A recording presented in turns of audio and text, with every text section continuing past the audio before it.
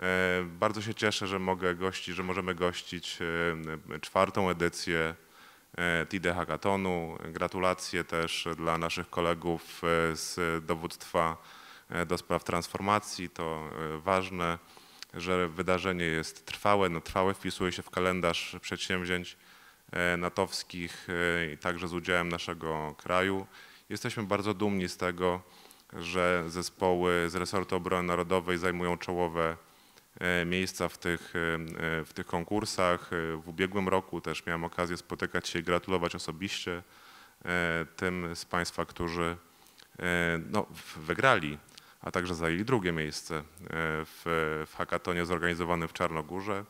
Przykładamy bardzo dużą wagę do rozwoju wszystkich, e, wszystkich filarów, na których opiera się e, nowoczesny świat, ten świat, w którym techniki cyfrowe, e, komputerowe no, stały się immanentną częścią wszystkich niemalże procesów, także wszystkich domen operacyjnych, a sama cyberprzestrzeń została uznana za e, domenę operacyjną działań e, militarnych.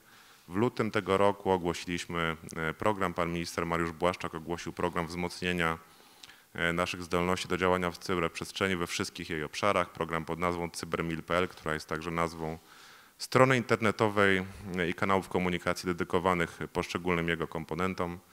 E, Bardzo się cieszę, że możemy spotkać się tutaj dziś e, i mam nadzieję, że, mam nadzieję, że wszyscy uczestnicy będą zadowoleni nie tylko z pobytu w Warszawie, z możliwości nawiązania nowych e, zawodowych e, kontaktów i znajomości, ale także z tego, że wyprodukują, wytworzą e, narzędzia, które będą następnie mogły być implementowane i wykorzystywane na co dzień przez e, sojuszników w ramach NATO. Dziękuję bardzo.